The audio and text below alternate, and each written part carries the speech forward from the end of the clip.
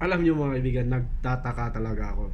Dito sa mundo ng social media mga kapatid, uh, lalo na kapag ikaw ay isang influencer, at saka marami ka ng buzzers, may nagbabash, no? lagi kong nababasa, ikaw ay isang patay gutom, patay gutom kayo. Pero nagtataka ako mga kapatid, uh, yung mga sinasabihang patay gutom is buhay na buhay. At sila pa yung masayang masaya. Ba't ganon? Uh, dapat kung patay gutom ka, dapat matamlay ka na. O mga basers, ba't ganon? Hindi kaya kayo yung pinapasukan ng hangin kapag kayo'y nambabash. Di ba? Sugutom lang yan. Kain-kain din pag may time. Dahil ang tiyan, ang utak pala ay parang tiyan din yan.